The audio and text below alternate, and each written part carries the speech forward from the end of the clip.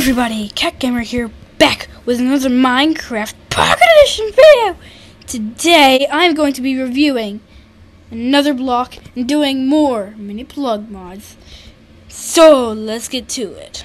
So, you join me on this lovely, lovely night. So, let's hop over to the lab and I will be showing you what we are going to be doing or reviewing today.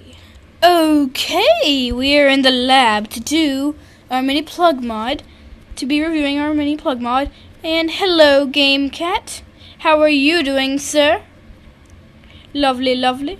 So let's hop into here and let's grab a block. But before I show you what the block is, I have to say, it's been in my inventory the entire time. Boom, cake.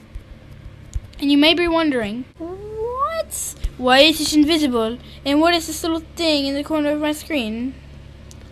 Well, honestly, I have no idea.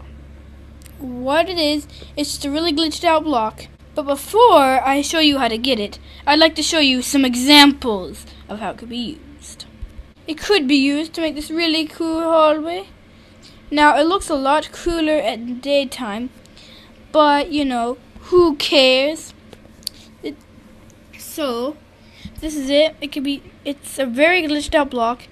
And I will be, and I did not actually find this one out myself. I will leave the link to the video of the YouTuber who found this out in the description below. So now I'm going to show you this block. So all you're going to need to do is have plug PE running, which this is another mini plug mod, obviously. So you're going to want to type in dot G 92 colon 92. And you want to do that. And magically from the sky it will fall and it will give you that block. Now, I do not have plug PE running because it will crash my entire recording, and that's no good. So, let's bring in the block. No. Here we go.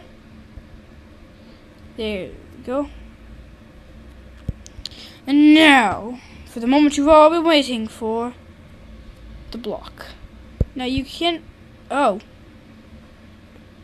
When you place it, it gives you a regular cake. But if you throw it, what the heck is going on here? This is what happens when you throw it. On the ground, it's completely screwed up. There's your cake. C cake! There, it's in the first slot of my inventory. So let's hop over to the testing chamber. And here it is, the mysterious, mysterious rod. Now, how do you use this, or how do you make this awesome, awesome rod? Well, all you're going to need to do is just, for example, I'm going to find a block to place it on. I'll take how about cyan stained clay? And you're also going to need an item frame. Now, what you do, you place it in the item frame, and then bam. And as you can see, it sticks way out, which is why you're going to need to place it, in fact, the whole block out. But when you do this, it looks like a nice spike. But how do you make it to go all dark? Well, that is simple. So all you need to do is you need to take this, place this in there, do that. Now all you need to do is around it. It has to be all of them. Otherwise the texture won't work. Like I break one block around it and it's all back to normal. And then you've got this really, really cool block.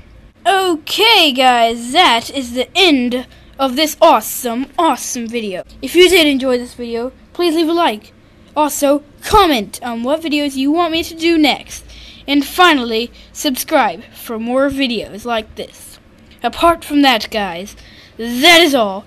Goodbye!